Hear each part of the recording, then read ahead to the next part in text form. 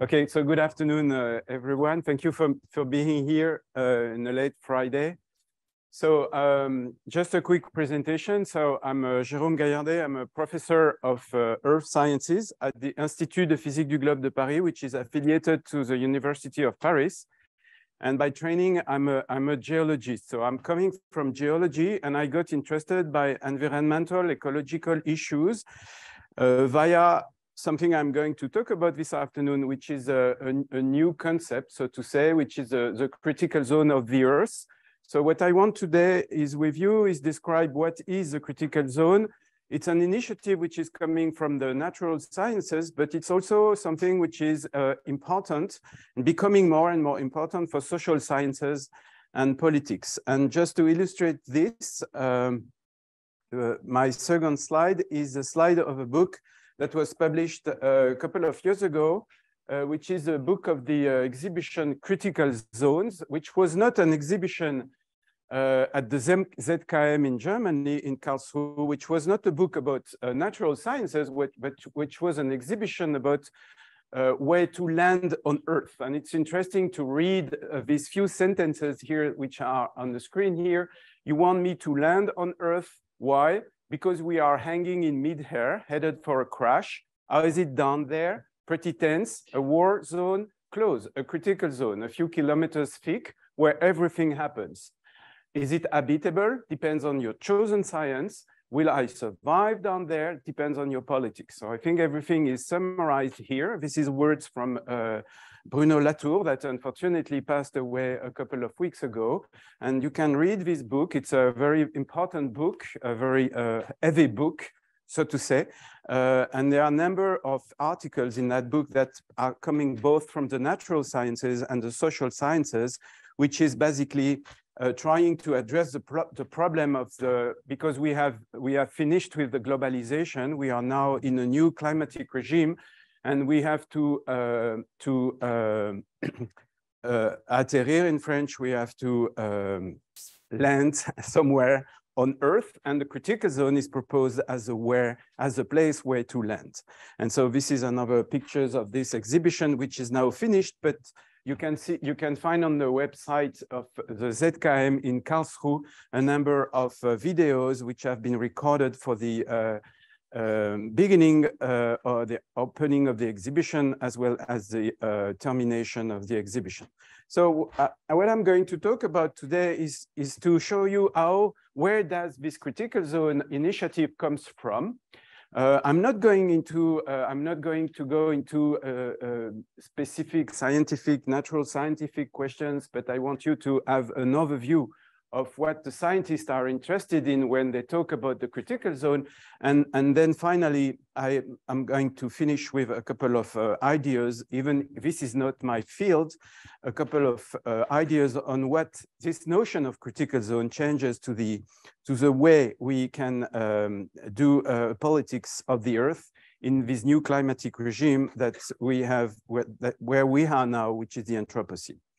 So basically the definition, so I'm starting with the first part section, which is I have uh, called, named a zone of, conflict between Helios. So Helios is a Greek uh, name for the sun uh, and and Vulcan is a Roman uh, god for, for the interior of the earth. So we are living in a, a, zone which is a zone of conflict between these two, two big sources of energy.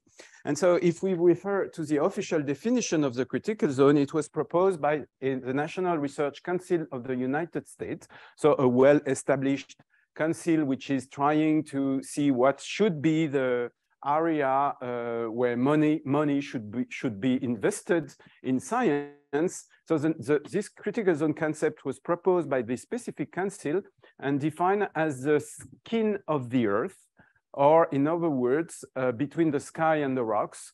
This is where the life is, and which is so critical to better understand uh, our future. So this is really the zone, and I'm going to enter into more details uh, then after.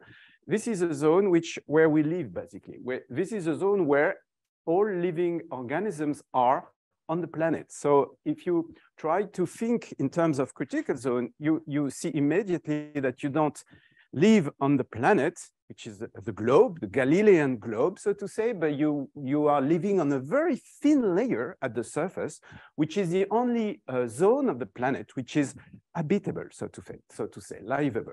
Okay, so this is a, a zone which is going to be an hybrid zone in the sense of the social sciences, which is a zone which is of interest for scientists coming from the natural sciences, but also uh, a political uh, critical object. So this is a representation which is very bad. Uh, if I have time, I will show you that we are working on new representation of the zone where we live. Uh, it shows you how much we lost actually, because we don't even know how to represent the, the, the, the planet we, we, we live in and not on, we live in. This is a different compartments which are connected and which are making as a whole uh, the critical zone. So, so, when you talk about the critical zone, you have to take into account, I'm, I'm starting from, from the bottom, you have to take into account the rocks, because everything is derived from rocks, actually. You have to take into account the water. It can be water which is circulating at the surface, but it can be deep water, which is circulating at depth, and which is basically the drinking water you have to uh, deal with the soil, and the soil, soil is a very polysemic term. Uh, the soil of the geologist is not, is not, the soil from the agronomist. So behind this term soil, you can have a different, a large number of concepts.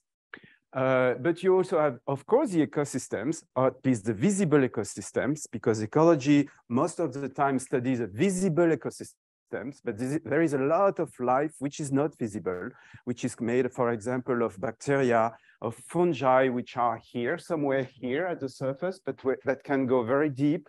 And actually, the scientists are now interested by this, what they call the deep biomass, which is this very largely unknown uh, living biomass, which is living, for example, at 100 meters be beneath our feet. And so, and you also have the lower atmosphere. So not all the atmosphere is within the critical zone. When, when you are breathing, for example, you need oxygen and you, and you put CO2 in the atmosphere, you only put CO2 in the lower atmosphere. You're not, you're not concerned by the higher atmosphere, which is depleted in oxygen and which has almost no uh, gas in it. So this is a critical zone. The critical zone has an ensemble, uh, um, a mix of different compartments that you know, uh, all know, which are studied by specific sciences, which are not connected. So the, the critical zone is not only uh, an object of study, it's also a way of reconnecting different uh, uh, objects which have been studied by different disciplines over the last, let's say, century. And this is another representation. I'm not claiming that this representation is better than the previous one. It's another representation, but it's it's it's uh, it's one of the best I can offer. So this is not a vertical view; it's a lateral view here, and it's a representation which is based on. Uh, you see these blue uh, arrows here which are representing the water cycle, the fact that water is evaporated from the ocean, precipitated on the lands, and is, uh, uh, is, is, flowing to the ocean back again. And so during this water cycle, a lot of interactions with living organisms, with the rock, with the soil, with the vegetation is occurring. And, every, and all these processes are responsible for transforming the, the Earth, the planet, so to say, in a habitable, in a livable uh, pellicule in a livable zone. And the main difficulty, as I said, of the critical zone as a whole, okay, studied as a system, is that it is uh, of interest for many, many disciplines. And I have tried this game here on this slide to put uh, a number of the disciplines which are interested by what is happening in the critical zone from a scientific, from a natural science point of view. Of course, ecologists are interested by the critical zone, but, but also microbiology, because there is a lot of microbes living, as I said, deep, deep under our feet. Pedology, I don't know if you know what pedology is. Pedology is the science of soil, soil science in, in, in the US, basically. But geophysics is very important, and I'm going to show you some pictures that are being produced. Geophysics is a way of imaging something that we basically don't see, which is beneath our feet, which is where the water is uh, stored and where the water is circulating. biogeochemistry, hydrogeology. So I, an hydrogeologist is a, is, is a scientist which is studying the deep groundwater. And it doesn't, it doesn't, it cannot be co uh, uh, compared with an hydrologist, which is another type of scientist. An hydrologist is studying the running water at the surface of the earth. And of course, all these disciplines are well established. You know, they have their uh, particular journals. When you know when you are an hydrologist, you don't publish in the papers in the journals which are the journals of the hydrogeology community. Everything has been very, very separated, and that's also true in the institutional point of view. If you look, for example, at France, and I'm not claiming that France is a good example, but it's the way it is, there is an institution which is in charge by the state of monitoring the groundwater uh, it's a BRGM, Geological Bureau. And there is another institution which is in charge of monitoring the hydrology of rivers, the water discharge of the main uh, rivers in the country. And this is INRAE, National Research Agronomical Institute. Of course, it's kind of stupid because a river is always connected to a groundwater in any place. So, you know, separating the institution which is monitoring the hydrogeological uh, reservoir and, and from the institution which is measuring the uh, hydrological reservoir is stupid, but it's the way it is. The state has divided the monitoring and the, and the auscultation of the critical zone into ma many, many different institutions. Probably one of the main uh, challenge or difficulty in the study of the critical zone is, is that you can see, you can look at that object uh, from the bottom, so to say, or from or from the um, from the top. You can look at it as a geological object. So, and then you are going to do geosciences. You are going to look, and this is my background, you are going to look at the way rocks are being transformed into a soil, a porous medium.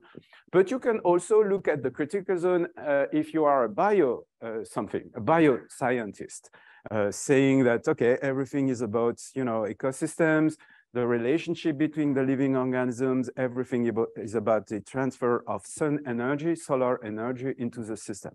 So there is no, no one view and which would be correct and the other which would be uh, bad. All the views have to be reconciled and they give you an idea of the very the high the, the high complexity of uh, the way this zone of the planet is uh, is working. Of course, don't don't hesitate to interrupt me if something is not clear or if you want more details. Huh? Okay, so from an energetic point of view, it's this is very impressive. If you look at how much energy the surface of the Earth, which is the habitable zone of the planet, is receiving, you see immediately you see you immediately see two sources of energy.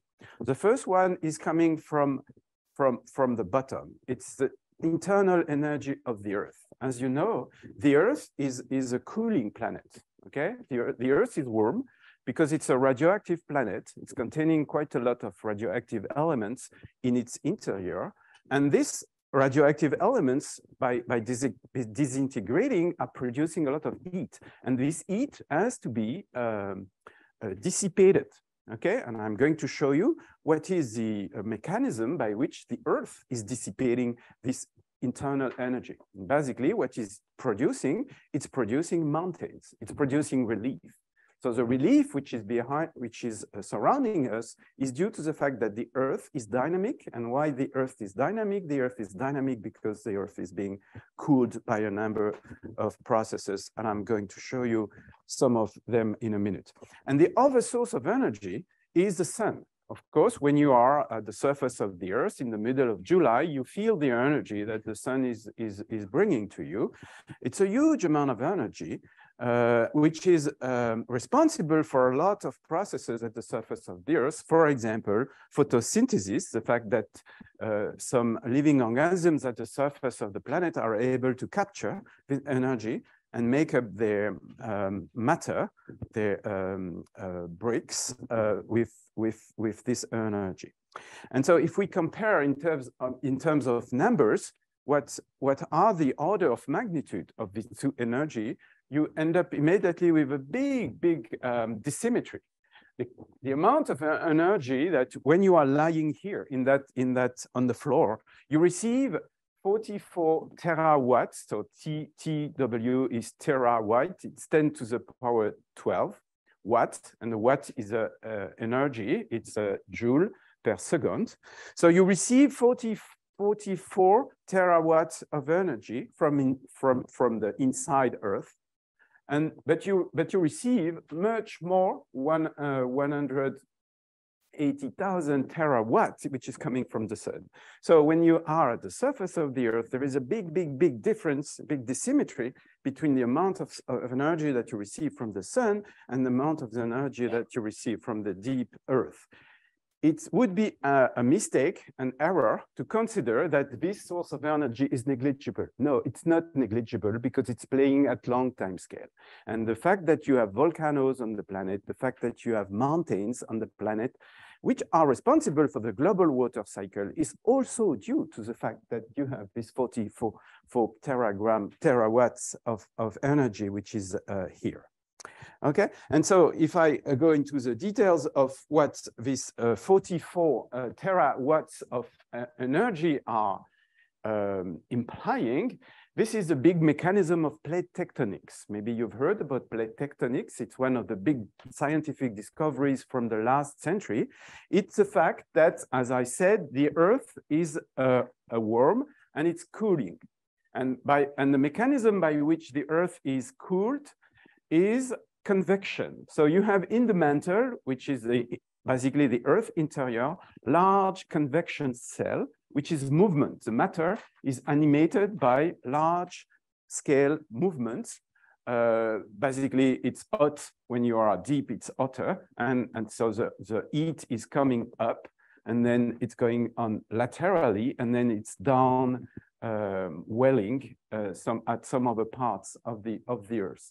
And the important thing about the, this convection, mantle convection, as we call it, is that the manifestation at the surface of this convection is that because the surface of the Earth is made of rigid plates, these plates are going to move depending on the movements which are uh, below.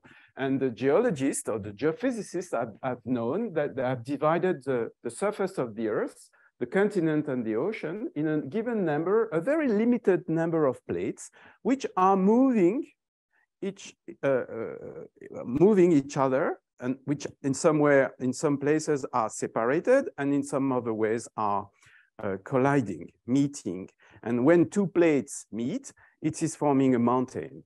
And when the two plates are separated, because be, be beneath you have these uh, convection cells, then it's creating an ocean. So plate tectonics was a big uh, scientific theory which was able to explain all the uh, forms of the relief we observed we observe on Earth. And plate tectonic is also explaining the uh, volcanism, volcanism process, which is represented here by a volca volcano, which is a, a, very important process for the Earth on the long term. Because if you are able to breathe uh, air right now, this is because this air has, is coming from the degassing of the deep interior and has accumulated accumulated during the geological history of the Earth in the atmosphere. Okay, so these 40, 44 terawatts of energy may appear to be small compared to the energy of the sun, but it's causing a lot of processes that are uh, uh, around us at the surface of the Earth. So this is one of the major ingredients of the, uh, so to say, uh, critical zone, creating the relief and bringing gas, in particular CO2, to the atmosphere. The other source of energy is, is huge, as we, as we saw uh, earlier. It's, it's the energy from the sun. And of course, the sun is going to uh, warm the surface of the planet. And the, and the surface zone of the planet, which is, which is going to receive much more energy, is basically the equatorial and tropical zone.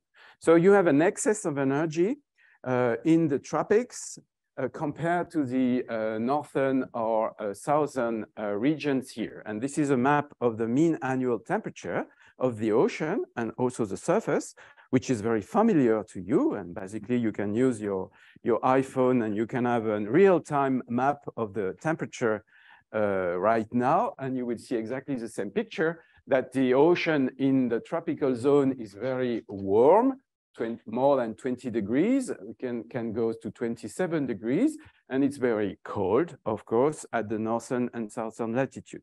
And so because nature doesn't like uh, this kind of situation with a lot of inequalities, there are processes which are redistributing the heat at the surface of the Earth. And uh, one, one process which is very important and which, which is represented of this map, which is a, a map um, based on satellite data, uh, is the mean ocean evaporation you understand very simply that if an ocean is warm, then this eva the evaporation of water is going to be much important. Uh, and so when you look at where evaporation of the ocean is occurring on Earth, you immediately see that uh, the evaporation of seawater is occurring in the, in the mid-tropical zone. Okay, so this is where the water is being produced. This water is because the water is less dense that the surrounding air, this water is going up into the atmospheric column, and at some point it condenses and it gives rain. What I'm talking here is about, I'm talking about the uh, water cycle, which is fueled by the sun. So, okay, so the sun energy is used, so to say, by the planets to evaporate the ocean. And that's that's dissipating the, the lot of energy that the sun is giving to the earth. And this is a very sim simple view of the global wa water cycle, which is something you've, you've seen already because you, it's, it's now taught at the elementary school, but, but it's very important, you know, and that's particular of the planet. If you go to Mars or if you, go to the moon, you don't have a water cycle. Really, the water cycle is a specificity of the Earth. Uh, and so I don't want to go into the, the, the numbers, the, the, details of the numbers here. This is not very important. Something which is very important, though, is that if you look at the total amount, so it's a thousand cubic kilometer per year of water. The total amount of water which is being evaporated over the ocean, so principally the mainly the tropical ocean, is being reprecipitated in the form of rain on the ocean themselves. Okay, so you see four, four, three, four, and three, nine, eight. So nothing is left, so to say, to uh, for precipitating on the continent, on the reliefs. Okay, and a major player in that water cycle is the vegetation. Okay, so vegetation is a source of uh, atmospheric vapor to the atmosphere. When you look at a tree, you should consider it as, as a way of taking water in the soil and putting it back in the atmosphere. Okay, this is what basically a tree does, taking water from the soil and evaporating it in the atmosphere. And that's a huge flux at the scale of the, of the planet. And that's something which is very important when we talk about the deforestation of the Amazon everyone is saying that's a disaster. It is a disaster, but it's a disaster because of the CO2, blah, blah, blah imprint. But actually, this is also a disaster, if not the main disaster. It's because you're suppressing this water cycle, which is giving back uh, the water to the atmosphere. So if you cut the forest in some place, you are going to make a desert, which is something that uh, humans have known for, for centuries. Okay, and so this is a water cycle. And you see that the runoff, what we call the runoff, which is the amount of water which is circulating, finally is, is uh, redistributed to the ocean, is 36, 36,000 uh, uh, cubic kilometer per year which is almost, almost 10% of what was evaporated initially. So a very small amount, and only a very small amount of the water which was evaporated by the sun energy is uh, redistributed, uh, is going back to the ocean. But you will see that this flux, even if it's a relatively small flux, has a very, very big importance. I want to draw your attention uh, here that this water cycle, which is a specificity of the Earth, which is why we have life on Earth, is not just a matter of the sun energy, which is providing the evaporation of the ocean. It's also a matter of plate tectonics, okay? You have reliefs on the continents because you have plate tectonics. If you suppress plate tectonics on the Earth, if the planet would be totally cold, non-active, you won't, you won't have a water cycle, okay?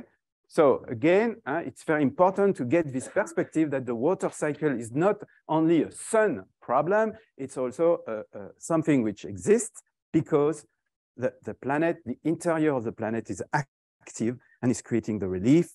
Of course, the water is coming originally from the deep interior because the water is mostly released to the atmosphere by the degassing by, of volcanoes. Okay, when you look at the volcano, the, the steam, which is uh, which just the steam which is coming out, is mainly water and CO2. This is what we call the degassing of the Earth. Okay, and the other process which is fueled by the by the sun uh, is is very important, and it's also a specificity of the Earth. So I'm sorry because everything is cut. Uh, so this is photosynthesis. So you don't see the name here, but this process, which is one, one specificity of the Earth, is photosynthesis. But you see the chemical equation, which is the most important. So CO2 plus, plus H2O gives, gives CH2O, which is basically the chemical formula for living organisms. We are, you are, CH2O n times. Okay, this is your chemical composition. And when plants or green plants are doing this reaction, they transform, they capture the solar energy and they transform the solar energy into chemical energy.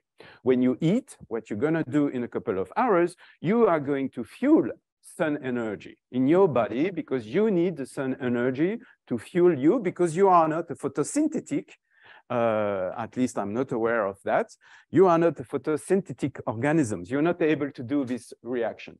So a, a, little bit of the sun energy, and I don't want to give you the numbers, they are very, very sm small, a very little part of the sun energy, which is coming at the surface of the earth, is being captured by the uh, green plants, like the trees, to produce organic matter. Okay, and so this organic matter is a form of stored chemical energy, which is originally coming from the, from the sun. Okay, and what is important is what when a tree or a leaf, a leaves, a leaf falls on the, on the floor, there is a, a, a microorganisms, microbe, bacteria, and fungi, which are going to decompose it. And this is typical what nature, typically what nature as uh, created during the, the long evolution of life, because if you just have a process which is consuming the CO2 from the atmosphere, like photosynthesis, very rapidly the atmosphere will be totally depleted in CO2. And so the scientists from the 19th century, such as the people de Saussure, for, for example, he was a Swiss guy which was working on the photosynthesis reaction, came up to the conclusion that there must exist a compensating mechanism of photosynthesis. Otherwise, there would no, there wouldn't be any, any molecule of CO2 in the atmosphere because the plants would have consumed everything. And this is Lavoisier, the famous chemist from uh, the French chemist, which was beheaded by the revolution, by the way, that discovered this compensating mechanism, which, which is the respiration, the respiration of animals and the respiration within the thin uh, upper part, uh, the upper part of the soil. Okay, so respiration and photosynthesis are two compensating mechanisms which maintain the amount of CO2 in the atmosphere. Okay, so uh, basically, uh, just to summarize, we are living on a thin pellicule, which is just at the interface between what I've called Helios and Vulcan. This is not from me, this is a quotation from Volk 99. Uh, and we are, so, so to say, uh, in that war zone, you know, the fact that Bruno Latour quotation was about talking about a war zone is exactly this. We are in a war zone, which is a conflict zone between two sources of energy.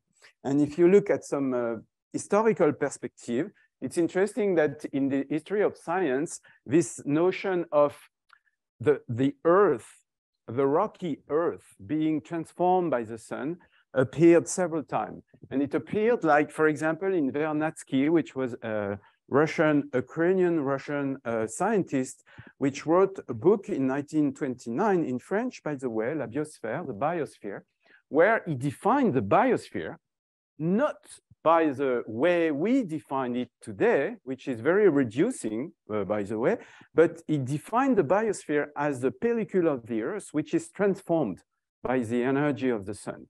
Transformed by what? Transformed by the water cycle, okay, which is fueled by the sun energy, and transformed by the action of living organisms, which are basically uh, chemical energy initially coming from the sun, okay? So this biosphere concept of, of Vernadsky was much richer than the modern concept or current concept of biosphere. In, for example, if you look at the IPCC report, they're talking about biosphere, but they're not talking about biosphere in that sense. They're talking about the biosphere as, a, as, as all the living organisms on Earth, okay, which is a very poor concept compared to this concept. And there is another uh, notion uh, uh, which is important, I think, to mention is Gaia. Gaia is a theory, a theory from Lovelock and Margulis, which was published a long time ago. Lovelock uh, passed away two, two, two years ago, uh, which is at the origin because uh, Lovelock evolved during his long life on this, on this concept, but at the origin is, is, the, um, is the idea that living things are part of the planetary scale self-regulating system that has maintained habitable conditions over the past uh, 3.5 uh, years. Uh, and so this is the idea that the planet is, is managing to maintain the conditions which are the best conditions for life, whatever the, the life forms are. Okay, this is important. So this is life with a cap L and not life with the different species. So um, I can tell you a little bit more about uh, what are these transformations that I'm talking about, what, what the water cycle is doing to the planet, but I don't want to be too long, so I should uh, look, uh, take a look at the time. Okay. But because I'm, I'm Okay, so what is the kind of transformation that uh, geochemists like I am are interested in? So uh, I mentioned to you the fact that the water cycle is a specificity of the Earth. And when, the, when it rains on, on a rock, for example, the rock is being transformed. Okay, the rock is being partially dissolved. And so at the interaction between this water, which is flowing at the surface of the continent and the rock, you create a porous zone. And this is very important, this notion of porosity. Porosity means that part of the mass is being uh, removed, okay? So the transformation of a rock into something which is not a rock anymore, which is something soft, which is something porous, is an important process which is occurring when uh, it rains on a rock and basically, this is not the water, and I'm not going into the details here, but this is not the water which is reacting with the rock, but this is the atmospheric CO2, because CO2 is easily dissolved in water. It, it creates an acidic solution. This is a definition of, of acidity. So you don't see the reaction here, but this is the, on the, the second reaction of my talk, which is CO2 plus H2O, gives you H2CO3 H2CO3, which is a carbonic acid, which is an acid, which is attacking the rocks. Okay, so the fact that the surface of the Earth reacts with the atmos atmospheric uh, water is, is due to a, a, a molecule which you don't see, but which is responsible for the transformation, which is CO2. Okay, this is very important to understand. And though in details, you create a porous media why is it a porous media, this zone here? It's a porous media because some, some part of the mass has left. Uh, and for, for those of you who uh, uh, uh did a little bit of chemistry in their life, uh, matter in the form of ions, for example, the calcium ion, the, the, calcium that you drink when you drink water, are being released. So when water is interacting with a rock, there is a, a couple of elements which are leaving. Very easy. They're leaving, okay, because they're soluble. So they're leaving the, the system with the water and they're going to the ocean. And because they leave, it creates porosity, okay? There's a missing component and this missing component is being displaced to the ocean. So this is what basically what the geochemist we call chemical weathering. And chemical weathering is one of the main processes, which is basically transforming the rock, the rocky planet, the earth is originally a rocky planet into something which is soft, which is the soil. And this process is consuming CO2 from the atmosphere. Okay, so the double consequences of the reactions are consuming CO2 from the atmosphere and creating this porous zone at the surface of the earth, which is going to be livable. And this is pictures from life. The action of life on the critical zone is everywhere. And uh, this is a very classic view of roots trying to find their ways between pebbles or boulders here because the roots are trying to find the nutrients because the nutrients ultimately they come from the rock. The dissolution of the rock is providing the, nutrient, the nutrients which are necessary for, for, tree, for the tree to grow, to grow. But you have another, which is less classic picture of bacteria. So this is a, a, a micro, microscopic photography uh, of the soil where you see the bacteria. And these bacteria are connected are connected by kind of electrical um, electrical uh, wire wires and they communicate with each other and this is a domain where everything has to be discovered we don't we don't we know nothing about about all these microbes which are living in the soils that we didn't pay attention to but they are doing a lot of the job of transforming the rock into a soil okay? So this is an ongoing research field uh, cutting edge uh, science, uh, scientific field, which is very important because we absolutely don't know, know, nothing about what these microbes are exactly doing. This is a picture of a rock I didn't bring with me. Usually I bring the rock with me, but because this is Friday and I'm going back home, I don't want to carry, carry it with me. Uh, so I just show you the picture. So this is a rock I found in a quarry in Guadeloupe uh, and I cut it, uh, it. And so you see something which is really important. You see a rock here inside. It's, it's uh, for, for those of you who like, who like rocks, it's an andesite. It's a volcanic rock. It has been created by a volcano. And if you look at, the, at this pellicule here, which is surrounding the rock,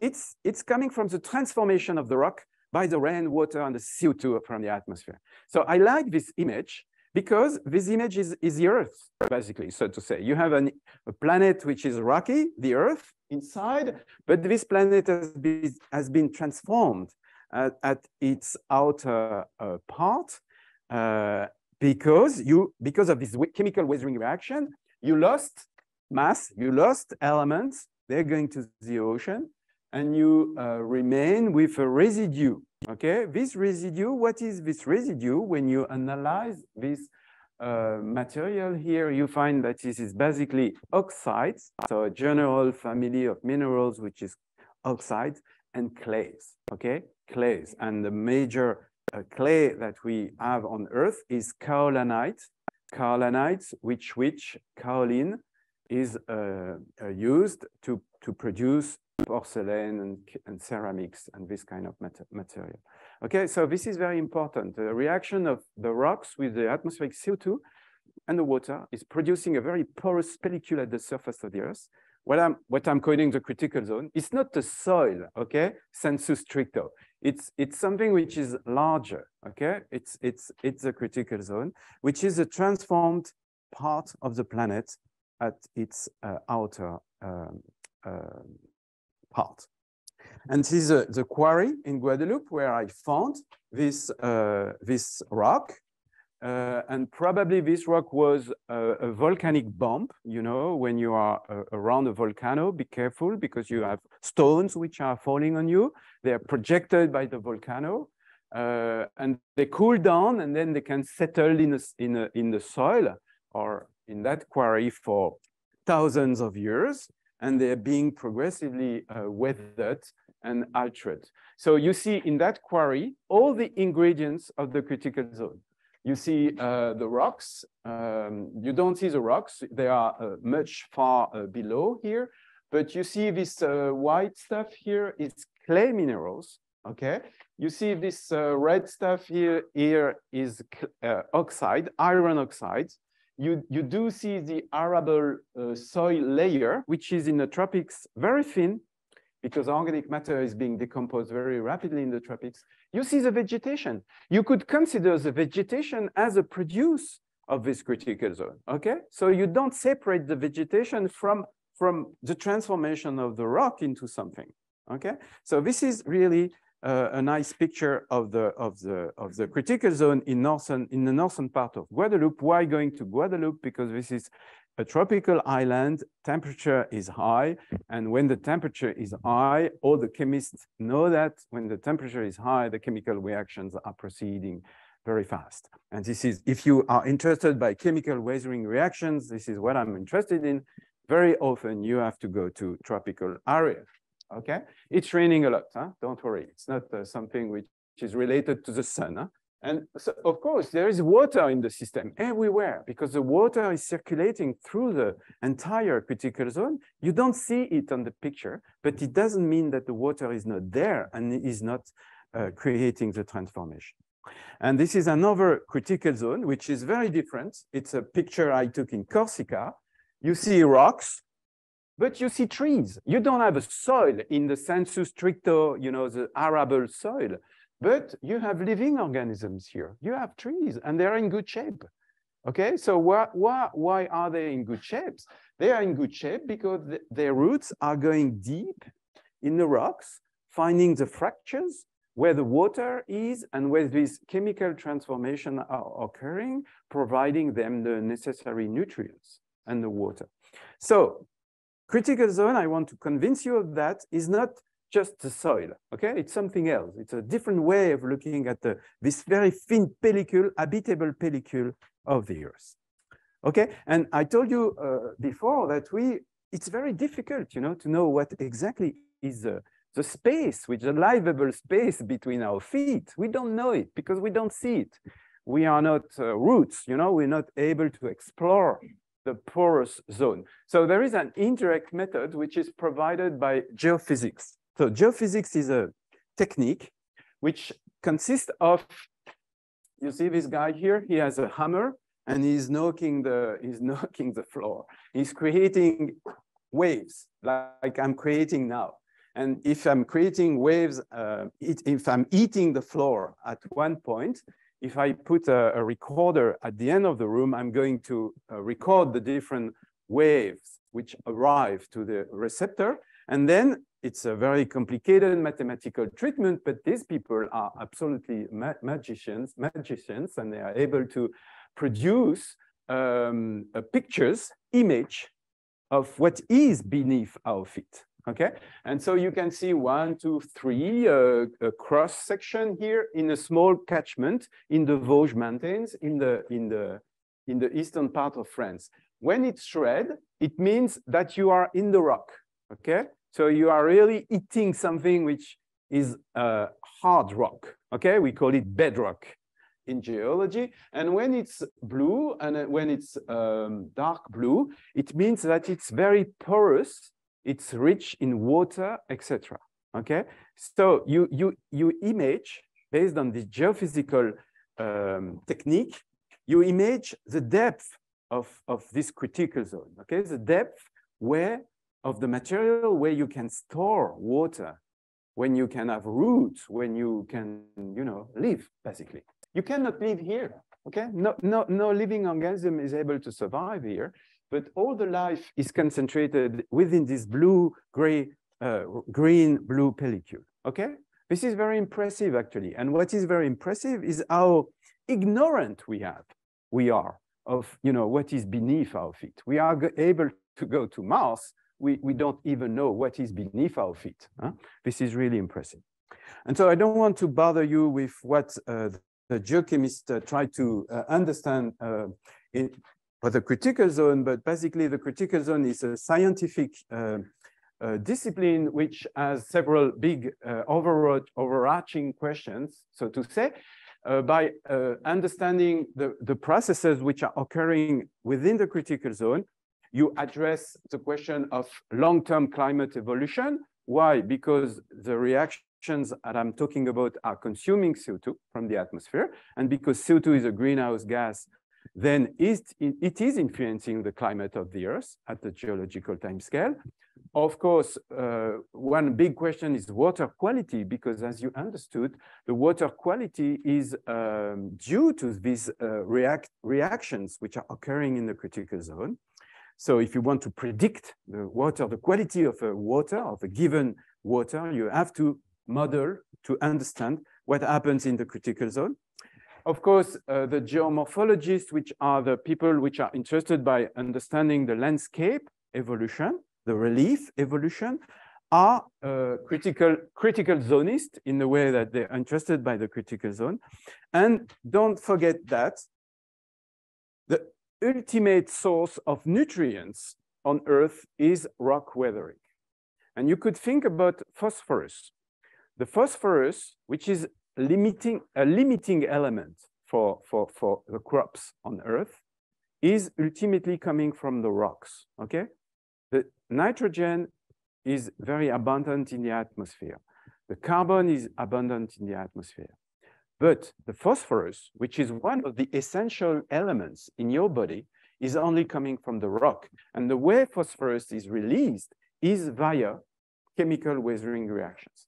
Okay, so this is something very important. The phosphorus you have eaten, eaten at uh, lunch is coming from Morocco because, because chemical weathering reactions are not fast enough.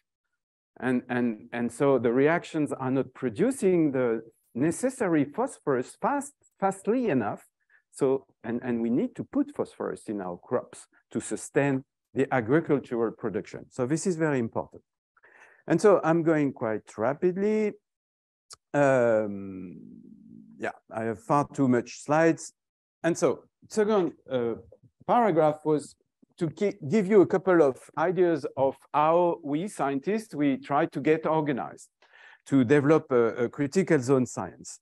So we are working in uh, sites, okay, and what we call the critical zone observatories. So critical zone observatories, I'm going to show you some examples of networks, are sites where all the disciplines, because as you saw, there are numerous disciplines which are interested by the critical zone. So at a given place, the different disciplines are working together. Okay, this is the idea. Uh, I don't know the English name, but in, in French, we have a term which is tiers-lieu. Okay, a place where, uh, kind of a neutral place where the different people go and work together. Okay, outside of the lab. And so this notion of critical zone observatory is very important. And so in critical zone observatories, we try to make monitoring because if you want to understand the critical zone, you have to monitor it on a, on a high frequency, temporal frequency, and over a long period of time. There's no way you can go and sample a river uh, one day and go back to your lab and publish a paper. It's not the way you are going to understand what is happening in the critical zone. You need monitoring.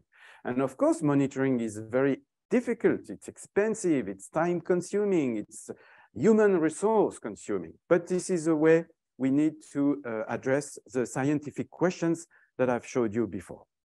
Um, all the critical zone observatories are anchored, so to say, on an initial overarching and, and, and, and local question. I'm going to show you some examples of an observatory which was designed, for example, to study the action of acid rain in uh, back to the uh, 1990s uh, on forests. Um, and because these critical zone observatories are place-based, by comparing different places, we can look at the effect of one or several factors. For example, uh, you want to look at the effect of climate change, you will choose several critical zone observatories along a climate gradient. Okay, so you can choose, uh, uh, for example, a, a, river which is draining one single type of rock in a tropical climate, and the same in a temperate climate, and the same in an Arctic climate, for example. And so you make you make climate as a variable, you vary climate by keeping, keeping constant the other parameters. This is kind of a theoretical scheme, but this is to explain the fact that these critical zone observatories are natural laboratories, okay? You see what I mean? It's, I'm not able in the lab to understand what is exactly happening in nature, So I try to use nature as a laboratory. This is one of, one of the key ideas. And so this is an international, so this is exactly what I was talking about. So this is an international initiative which has been developed over the last uh, 10, 20 years. So this is um, an image of the uh, NSF, so National Science Foundation in the United States funded uh, network. I'm not going into the details. If you are interested by the details, there is a web page. There is a lot of information on the US CZO sites. You can Google it and very rapidly you will find a lot of information. So what is interesting in the, in the United States network is that they, they tried, my colleagues, my dear colleagues, tried to avoid the presence of humans. this is really imp impressive. The way these observatories have been uh, developed, installed in places where no one lives. And this is very interesting in it's it's it's a, a, remain, a remaining of the uh, wilderness uh, concept that the US scientists uh, like a lot. In France, we did something different because actually in France, we have a lot of existing, we had a lot of exi existing observatories, but as I said earlier, these observatories were very dis dispersed. So you had observatories looking at the glaciers, you had observatories looking at the wetlands, you have observatories looking at the groundwater, you have observatories looking at the rivers, etc. So we try to build up a network.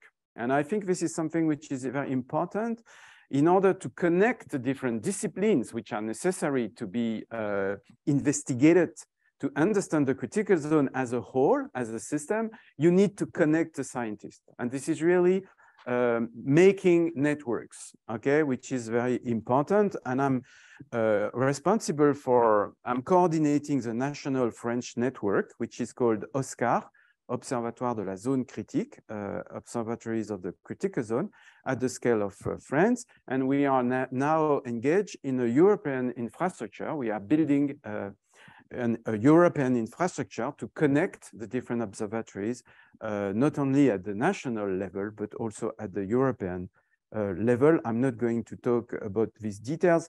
I have some flyers of the infrastructure if you are interested in.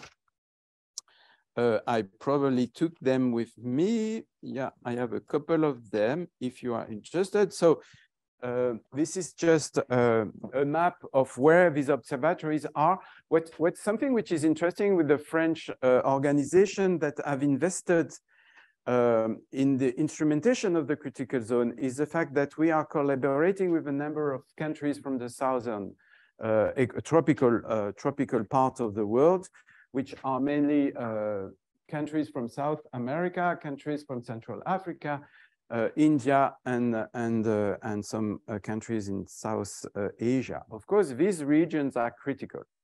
Uh, because environmental ch changes, global changes are going to be far much pronounced here in Africa than they are in, in, in continental France. The, the environmental problems are much more critical in those regions than they are in France. And so this is absolutely important to get a global network of critical zone observatories.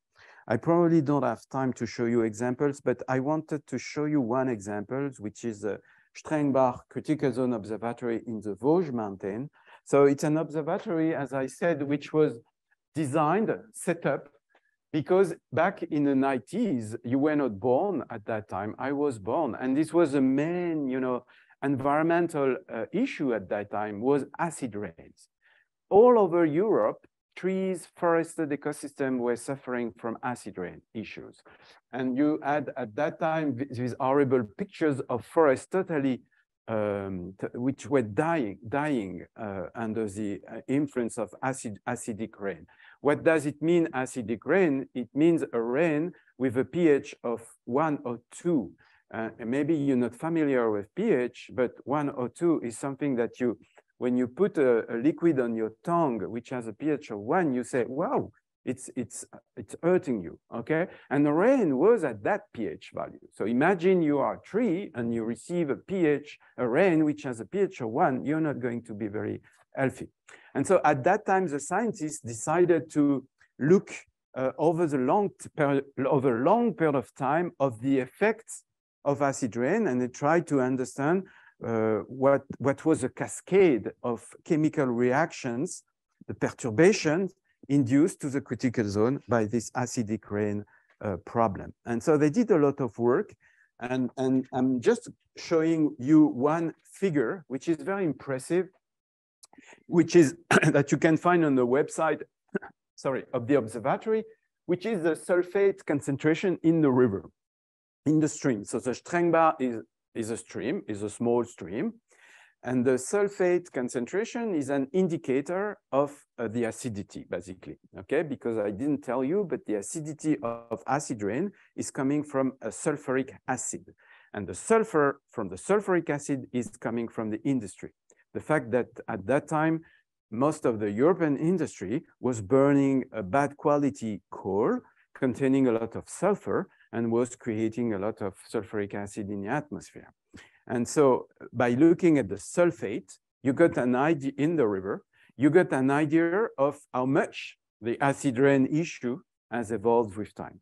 And fortunately, you do see because uh, measures have been taken by the European industry and basically the European industry has disappeared. Huh?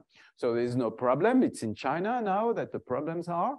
But you do see this decrease, this long-term decrease of sulfate concentration in the stream, indicating that basically the good message is, uh, uh, is that the good news, sorry, is that, it's decreasing. So the acidity is uh, decreasing. Um, and, and so the health of the stream is becoming uh, more and more, uh, is, is, is getting better. Uh, but superimposed on the long trend, which is this long trend, decreasing trend, you have a lot of small waves. You see that? And, and you have peaks in some years. And this is something we don't understand.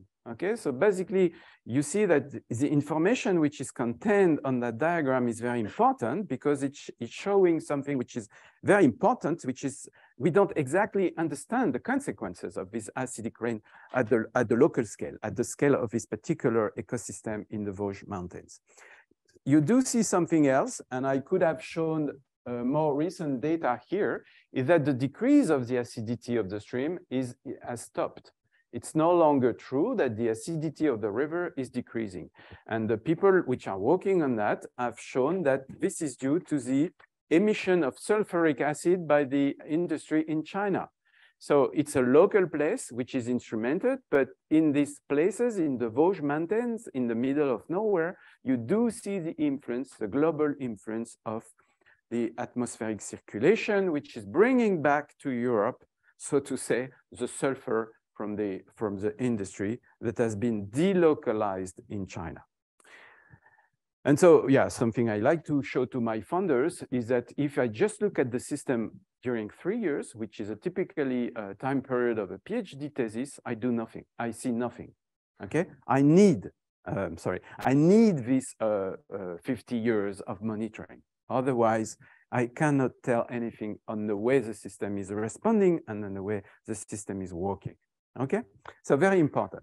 Uh, if you're interested, there is a movie uh, on the web, on the YouTube, which uh, you can look, which is uh, showing how this place particularly is instrumented. There's a lot of instruments everywhere. Each of, it, each of these instruments um, seeing something different. And so I'm coming to my last uh, part. And as I said, uh, I'm not an expert. I'm not a social scientist, but uh, I have been involved with a social scientist in a, a new adventure, so to say, which is I was very surprised at the beginning that this critical zone concept was of interest for social scientists, for policy policymakers, for artists also. So what does it changes to the earth politics in the Anthropocene? So of course, the critical zone is, is also critical because this is the, the place where we live. And so we have to take care of this very thin pellicule of the surface in which we are, so to say, confined. And so it changes a lot, okay? Because if you realize that you're not living on the planet, but you're living in a very, very thin pellicule at the surface of this planet, it, it totally changes your view on, on, you know, the relationship you should have with the, with the, with the planet. And uh, of course, we have uh, not been very kind, so to say, with the critical zone. We've, we have polluted the critical zone. We have introduced very uh, long living molecules in the critical zone, which are basically killing the microbes and the numerous fungi which are doing this transformation. So we are just stopping the transformation of the critical zone.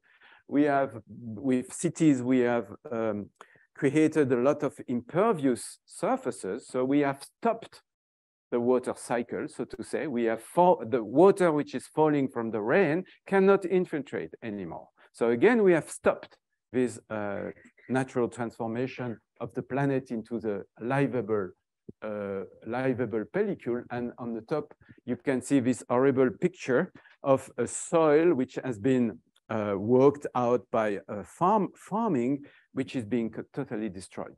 I didn't take time to give you the order of magnitude of the transformation, of the velocity, of the amount of time it takes for a rock for being transformed into a soil, but it takes a lot of time. It takes typically thousands of years, okay? To create one meter of soil, the transformation that I've been talking about, it takes, it takes 1,000 years. And, and with agricultural um, uh, practices, industrial farming, you can destroy the soil in like 40 years and, and probably less. Okay, so we are doing things, and particular we are doing things at such a velocity that it's not absolutely not sustainable. And I like this image of the critical zone seen as a system where the different compartments are interconnected, which is dis destabilized, you know, by human activities. So we have changed the whole system. So it's not a, a question of uh, humans against nature. It's something that man has uh, provoked, has um, uh, made of uh, changing all the relationship, all the tight relationships, interconnections between the different compartments of the critical zone. And I don't want to go into the details here, but just if you're interested, a colleague of mine wrote a book, which is Dirt. And if you're interested, it's really interesting to read. Its, it, its subtitle is The Erosion of Civilization. So he's um, taking the um, idea that, developing the idea that uh, a civilization, in order to be sustainable, has to take care of, of the soil. But the soil he's talking about is a critical zone I have been uh, describing before. He's a very good speaker, so you can look at his uh, YouTube uh, channel and you can you can see a lot of, uh, you can find a lot of resources if you're interested. He, he showed something which is very interesting. This is uh, um, physical erosion. What this physical erosion is, is the amount of material which is being removed each year by natural processes. And he, he did a big uh, compilation from literature data. Uh, you see that this uh, physical erosion at the surface of the earth is changing a lot depending on where you are. If you are on the shield areas, sorry, it's in French, bouclier means shield areas like, like northern Scandinavia, Canada, uh, Siberia, this very flat area. The uh, denudation of the earth, the natural denudation is very slow okay? Uh, one 10 to the minus three millimeter per year, it's nothing, okay? If you go to uh, Colline is hill, hill slopes, it's a little bit higher. And of course, if you go to mountains, it's, it's uh, much, much higher, okay? And on that diagram, it plotted, it compared the natural numbers with what conventional, so-called conventional agriculture is doing. And actually, it's a lot of uh, data, people that have measured the way uh, agricultural land is being eroded.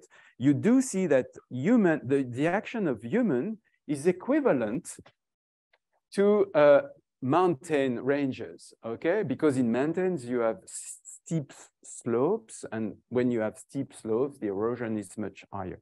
So this is one argument to me of the Anthropocene the, the, the, the, the, action of man on the erosion of the earth is the same as what you observe naturally in high mountains, okay? And so this is not sustainable. We are destroying the living pellicle of the earth if we don't pay attention to the critical zone. So a couple of ideas of what this concept of critical zone change to, uh, to, uh, to the politics. Uh, so as I said, the critical zone is an hybrid object, okay?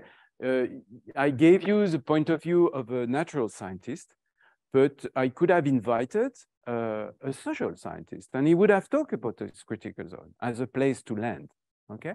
And so it's really an hybrid object. Critical zone science calls for an alliance of all natural sciences, and there is a lot of work. Uh, it's impressive the way the disciplines are not able to talk to each other. Really, I'm not, I'm not exaggerating at all, okay? And so it's true for ecology and geology, for example, not talking about sociology, okay? Do you know any of uh, so any sociologists that took a geology uh, class at the university? No. So it's something that needs to be uh, uh totally uh, rethink. Anthropology, arts, and politics. Of course, as I tried to show you, the critical zone is where we live. Okay, we're not living in the globe. We're living this very thin pellicle at the surface of the Earth. There is no exterior. We have within it. It okay, We're confined in it, so to say. So it's a new way of um, uh, thinking of our, our relationship with so-called nature. There's no nature and humans. We are within a system and we are interacting with it and we are changing it. We are in the critical zone. We are one of the drivers. I don't want to go into the details, but it was developed by Bruno Latour in a, a couple of books. Uh, for, for Latour, the critical zone is uh, the materiality of Gaia, okay? So Gaia, this uh, self-regulating uh, system uh, is materialized by this critical zone, this very thin pellicle at, at the surface of the, of the Earth in which the living organisms work to maintain the conditions of, the, of life on the planet. And so uh, this is books about Gaia. I don't know if you're familiar with the Gaia theory, but this is, i am going to give you this uh, PowerPoint and so you, you can have the references. This is some of the books that you can read if you're interested by Gaia.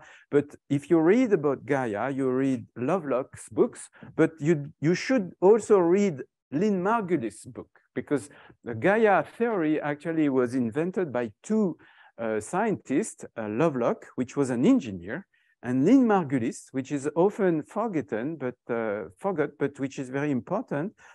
She was a microbiologist, and she was the first to say, okay, you have a lot of bugs everywhere, microbes everywhere that you don't even see. You don't even know that they, that they exist, but your life is possible because they are working uh, um, right now, okay? Because they're producing the oxygen for the air, because they are decomposing the organic matter, etc.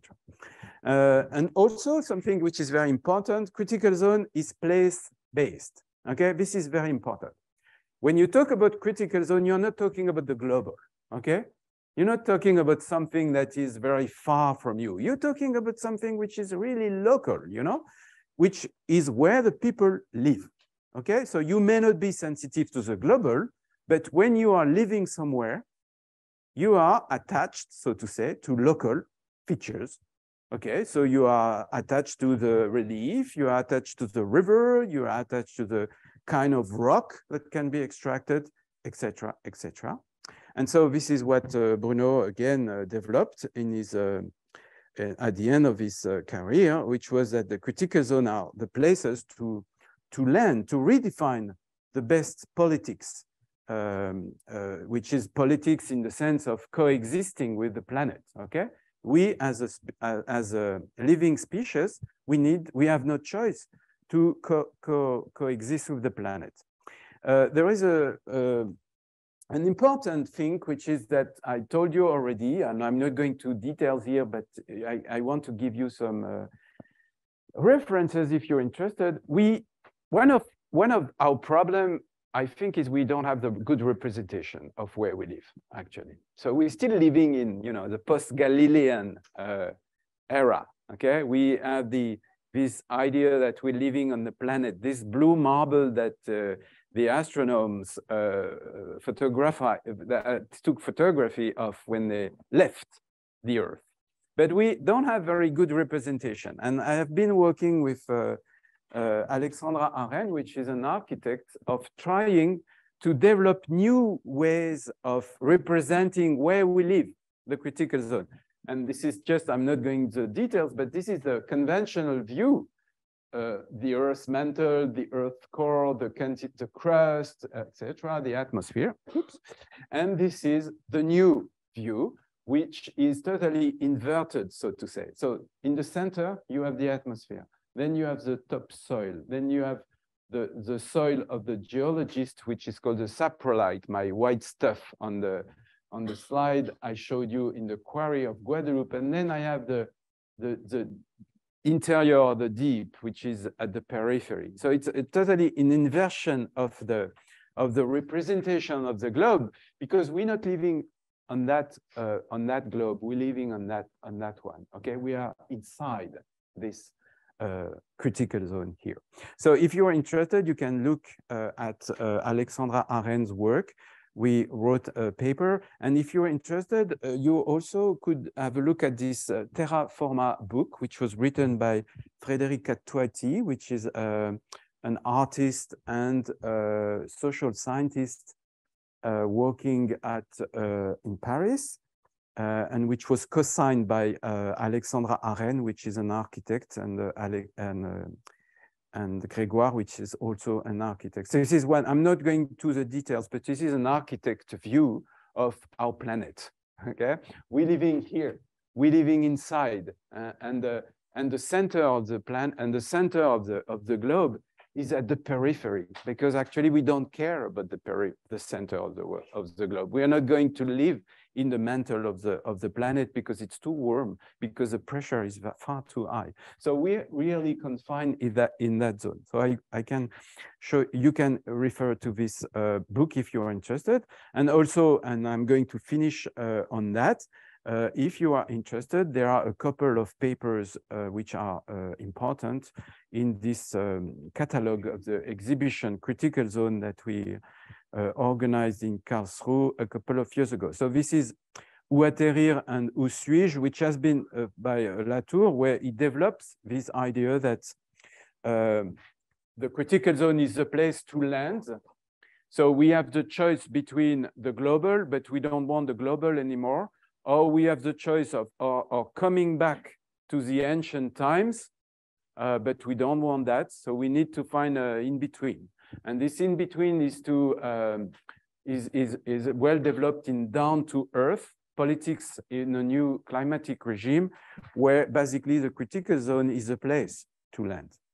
Uh, and these books have been, of course, translated uh, into many uh, languages, different languages, and I uh, think you may be interested in reading them if you are uh, if you want to know more about the political consequences of this uh, of these notions. I'm giving you some references here and some YouTube uh, uh, videos if you are interested. And this is my conclusions. I'm not going to read it because we should maybe take some time for the questions.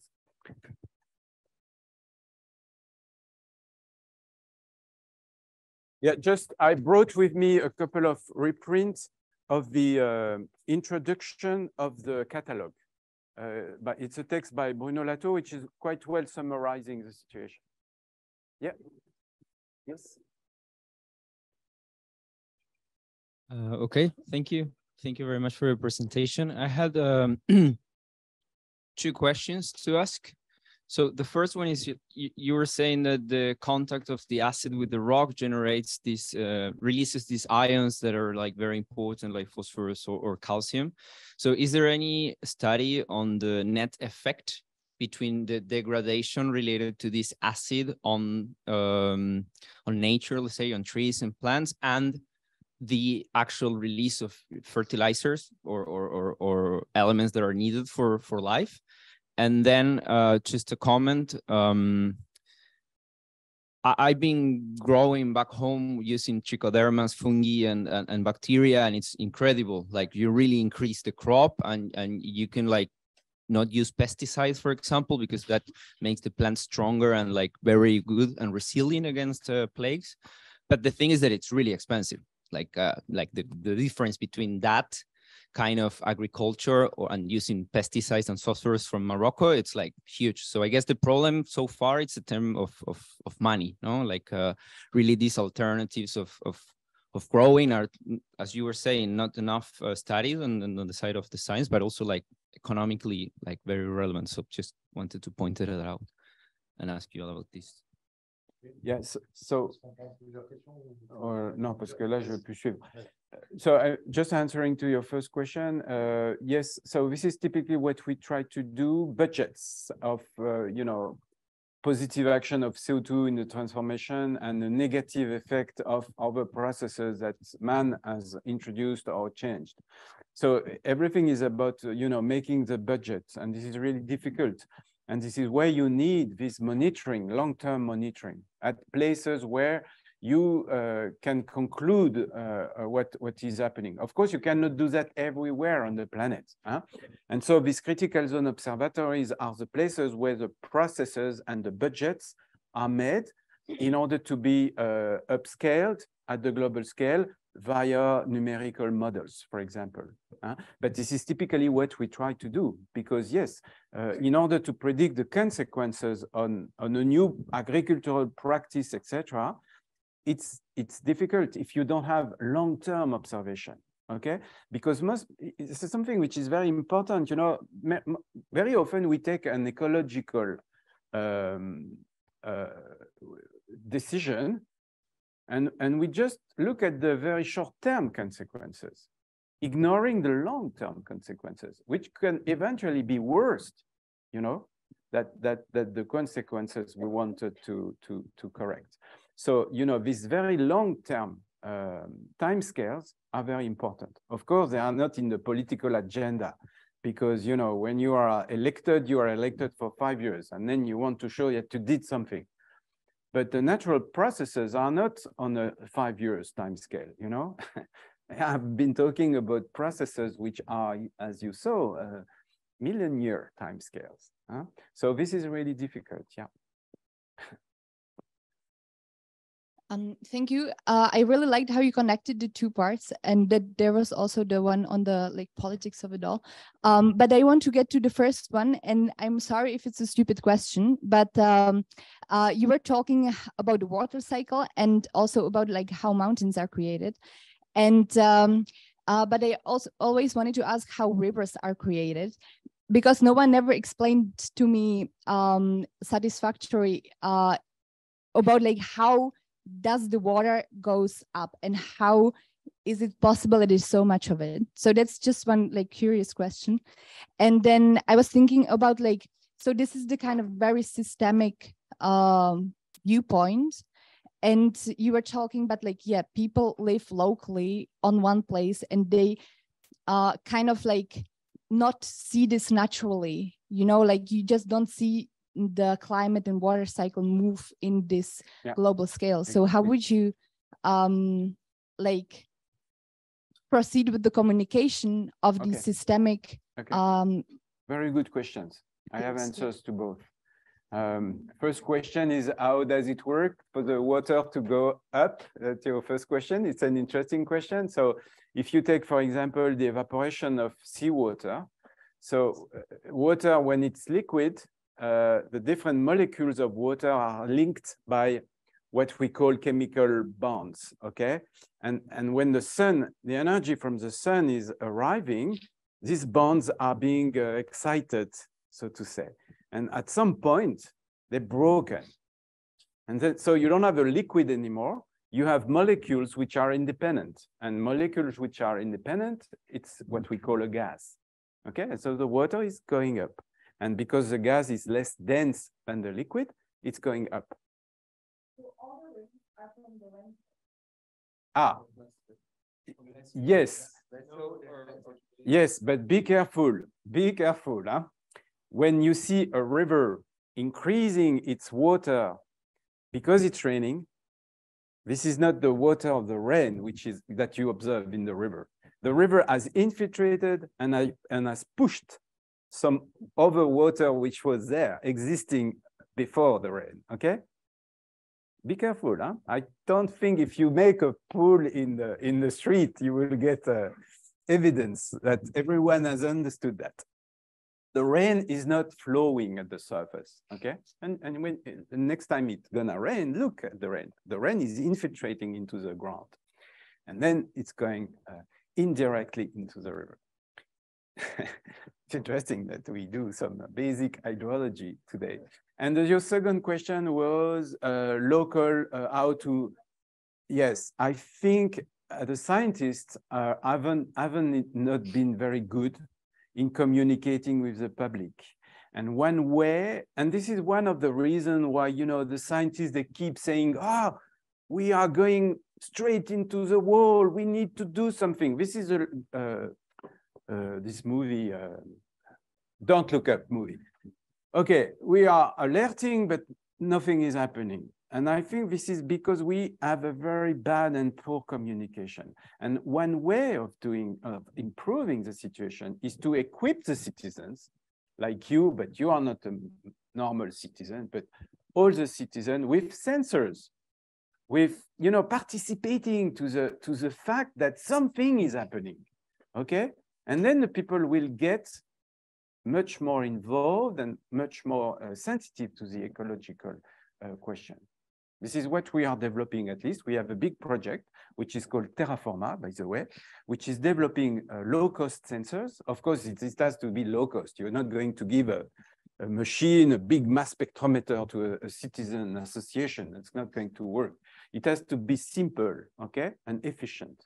But I think the scientists, and I take my part of responsibility, we have been very bad, you know, in communicating with the public we, we have too much the image that the scientist knows what is going to happen and, uh, and explain, you know, to the, to the politicians or to the policymakers what is going to happen. And I think, I think it's a very wrong way of communicating.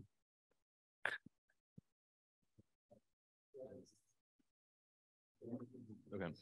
Yes, um, I wanted to ask uh, you about uh, geothermal energy ah. and what like your general um, because like I've heard it a couple of times, like from like climate people and stuff. It's like maybe a option because it's like renewable and infinite energy. But I guess like for the environment okay. and the whole soil structure is really bad. Yeah, very good question.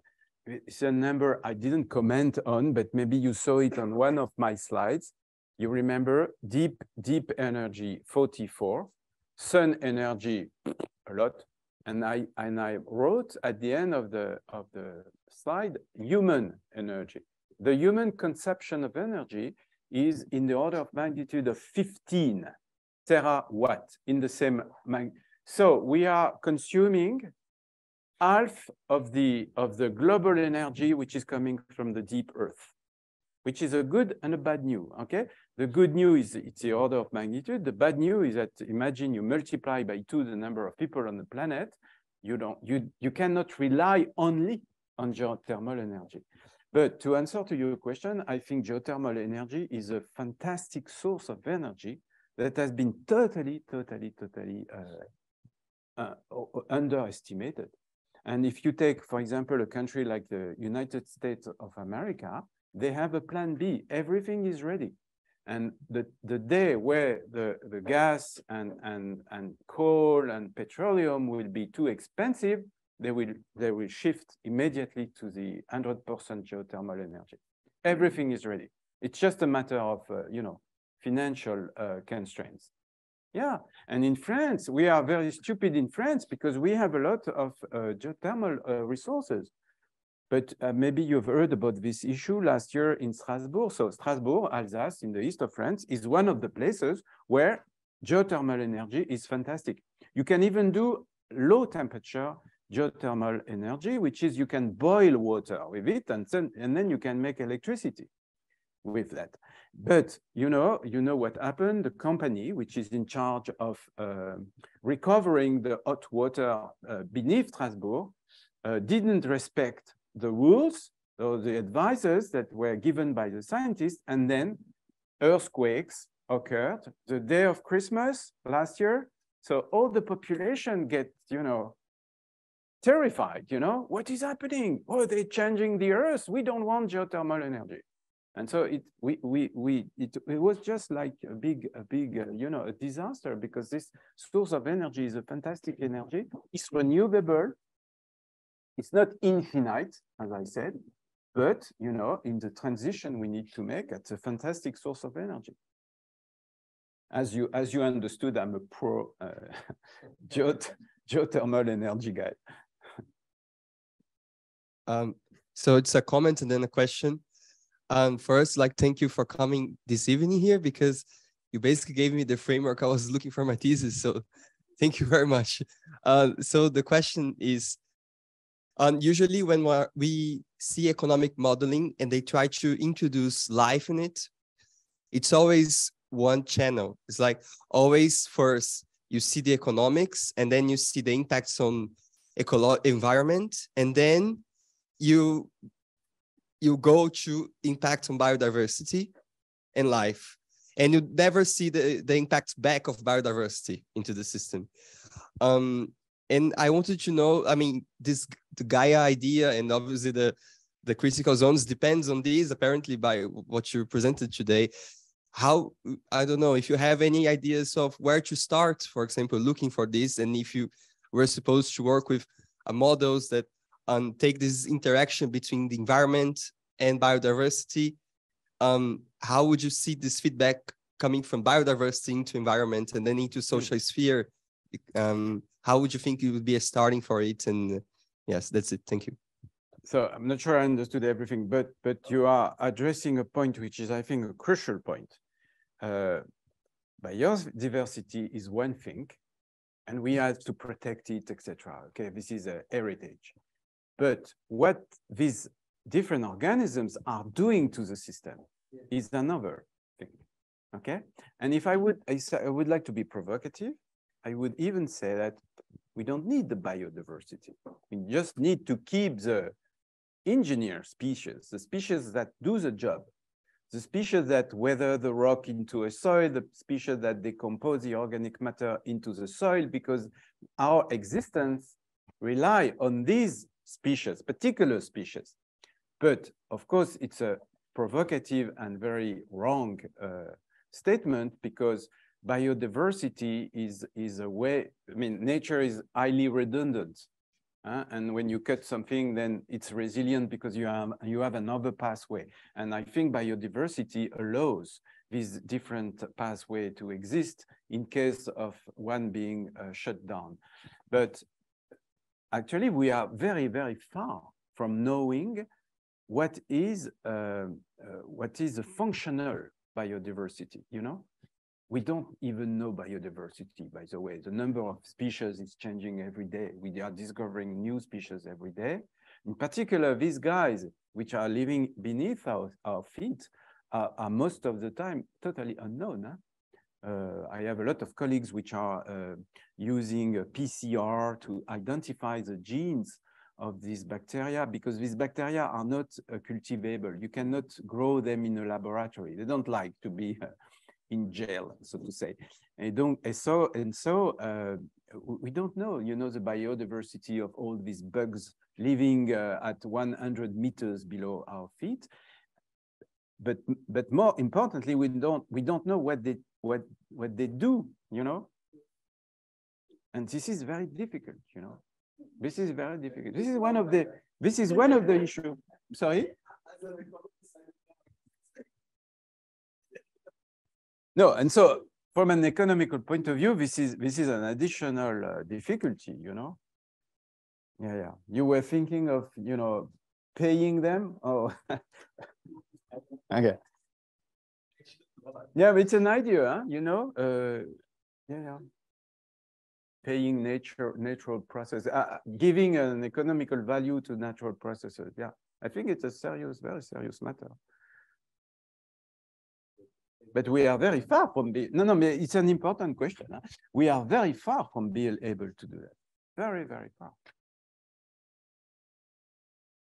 Um, I was wondering just when you were talking about um, engaging with like broader citizenry or like um, outside of people outside of this, like maybe we could say Western uh, field of scientific research. And I was kind of curious whether in your disciplines, like there's any engagement with other forms of knowledge or yeah i don't know um yeah indigenous forms of knowledge or outside of the western purely scientific frame of thinking about these sort of things.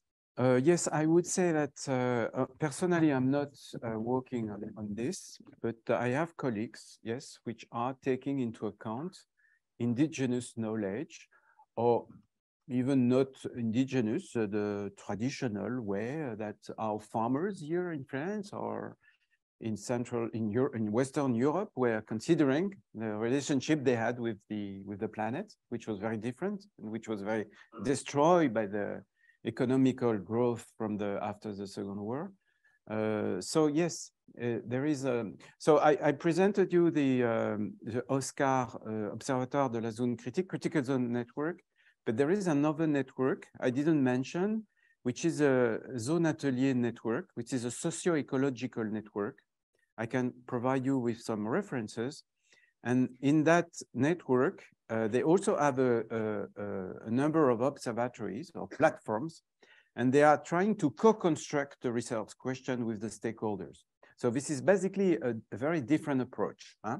And I know that in a number of these uh, sites or platforms, regions, um, indigenous, so to say, or native, so to say, knowledge is is taken is taken into is taken into account. Yeah. So it's not a, it, it, it exists. Uh, but you know, for, for a physicist or a chemist uh, to be aware that this is a, a, a non-exotic form of knowledge, uh, it's a long uh, way. Huh? but, but it's changing. Hello, thank you very much for your presentation. I had two questions. Like first, uh, why the water in the sea is salty? First one. And second question, what do you think about the uh, desalination projects? What, Okay, uh, what so is the, the potential of desalination? Desalination, de desalination Desalination. of water, Yeah. of seawater. Yeah, exactly. So first question, actually, if you understood what I said, you you you have or you already have the answer. I guess that the the, the, the submarine, which is like the rock, is some like has crystal components, and then mixed mix the, the water.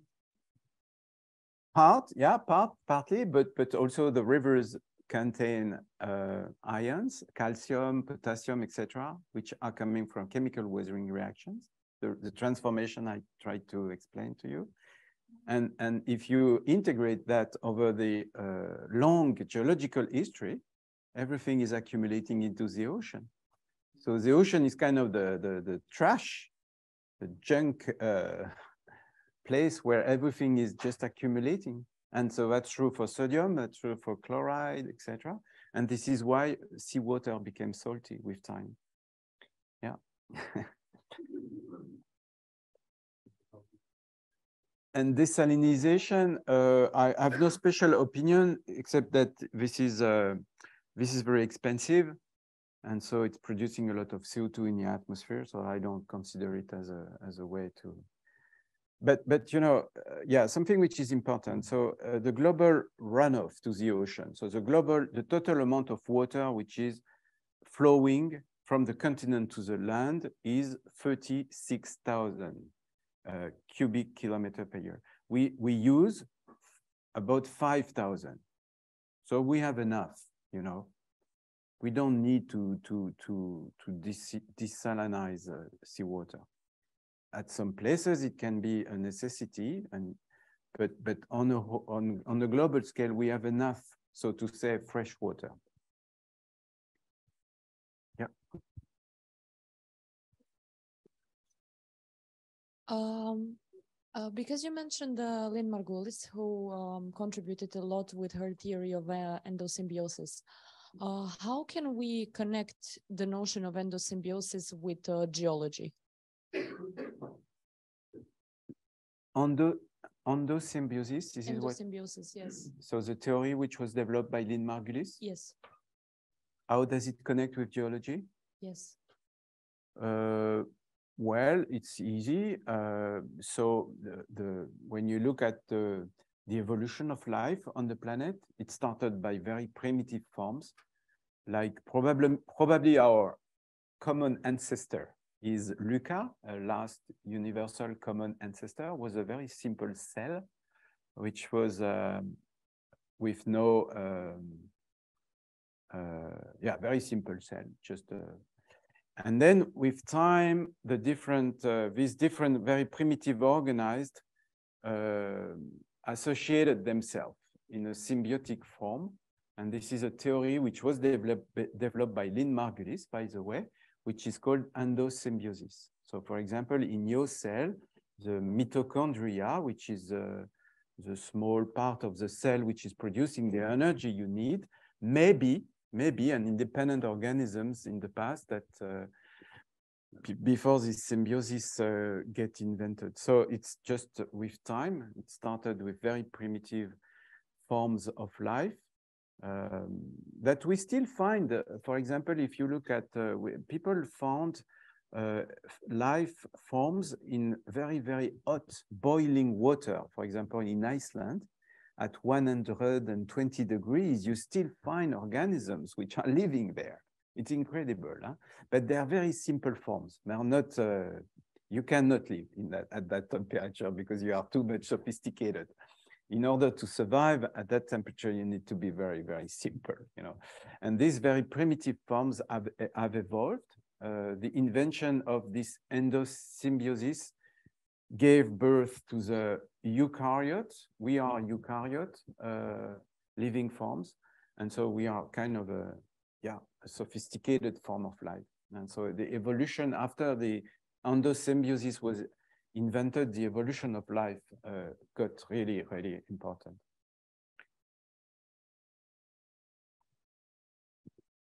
So just a final question. You were saying that the acid um, the like changes like so the carbon is is, is trapped and, and changed into other things on soil. But what about when it falls in the ocean? Because you show that most of the water just goes up and then comes back to the ocean. Like wh what happens to the um so like the acid in, on the ocean? Yeah, good question. So um there is a natural equilibrium between the CO2 in the atmosphere and the CO2 in the ocean. Uh, so this is what is happening right now because we have introduced a lot of CO2 in the atmosphere by burning fossil uh, fuels. And so the CO2 has accumulated in the atmosphere, but part of it is being dissolved in the ocean. This is a natural process. Huh? The problem is that this natural process is acidifying the ocean. And so the ocean, the pH of the ocean, I could have showed you data on that, is decreasing. So uh, a century a century ago, the pH was 8.3, which is a natural natural pH of the ocean. And now, when you swim, you swim in a water which is 8.1. You could you could consider it's nothing, but because but it's a huge change. And if you extrapolate the way the pH of the ocean is going to decrease, it's probably going to decrease to uh, 7.8, which is a big, big, big change. So I think the acidification of the ocean is a problem that is also very uh, uh, under considered. It's a, it's a big issue. Huh? It's a big issue. Climate warming is, is a big issue, but the acidification is, of the ocean is a, is a catastrophe because it's going to destroy, to destabilize all the oceanic ecosystem. So the only solution is, you know it, stop it right now, okay?